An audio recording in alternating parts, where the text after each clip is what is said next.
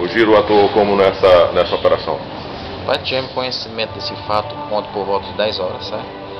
E através de informações, é, hoje conseguimos efetuar a prisão desse elemento através da, da ajuda do pessoal do segundo DP. Por volta de que horas? A prisão foi efetuada por volta de 10 e meia. Ele ofereceu resistência? Não, não, não ofereceu resistência.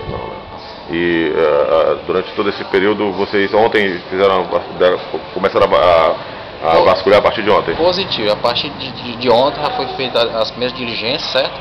E, e hoje foi o, o término dela. Ele já era conhecido da, da polícia, esse, esse elemento? Positivo, já era conhecido já.